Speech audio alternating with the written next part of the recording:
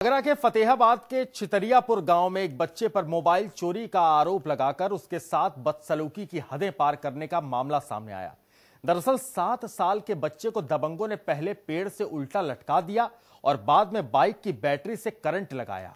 इस मामले में पुलिस ने दो लोगों के खिलाफ केस दर्ज करके आरोपियों की तलाश शुरू कर दी है।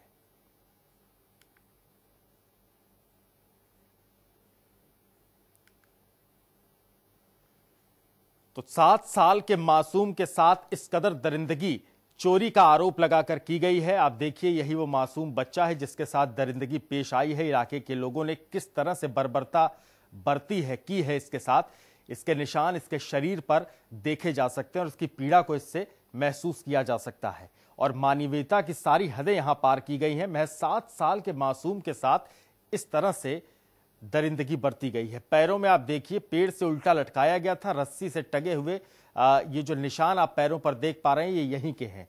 और इसी क्रूरता के निशान है और इसके बाद इसे बैटरी से करंट लगवाया गया। करंट के बैटरी के शॉक दिए गए बिजली के।